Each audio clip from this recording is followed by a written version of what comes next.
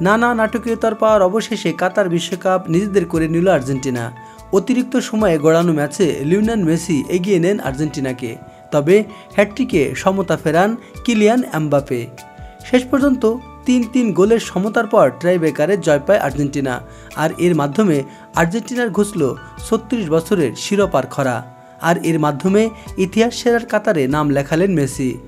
আবারও যেন মেসির মাঝেই ফিরে এলেন প্রয়াত আর্জেন্টিনার কিংবদন্তি দিয়াগো ম্যারাডোনা।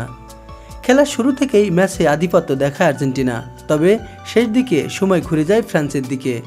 আর পেনাল্টির পর এমবাপ্পের গোলে নির্ধারিত মূল সময়ের শেষ দিকে সমতায় ফেরে ফ্রান্স।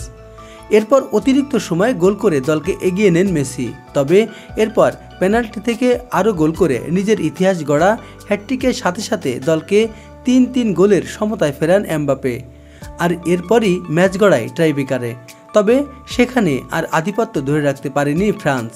ট্রাইব্রেকারে মেসিরা চার দুই গোলে ম্যাচ জিতে নেয়। আর এভাবেই অবশেষে কাতার বিশ্বকাপ নিজেদের করে নিল আর্জেন্টিনা।